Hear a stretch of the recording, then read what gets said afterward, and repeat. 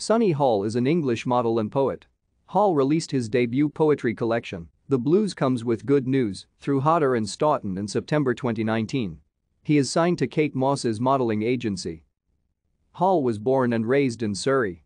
He was adopted at age 4 but maintained contact with his birth mother. He dropped out of sixth form in 2014.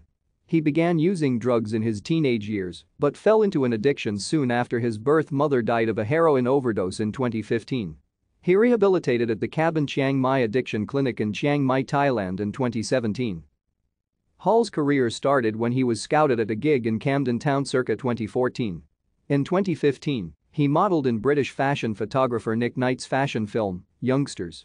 Hall first began writing in 2017 when he was in rehab in Thailand.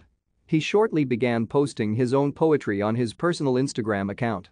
Hall self-published and released his debut poetry collection The Blues Comes With Good News in April 2019 which sold over 1.5 thousand copies with its first edition in just six months. Thank you for watching. Like and subscribe if you would like to view more of our videos. Have a nice day.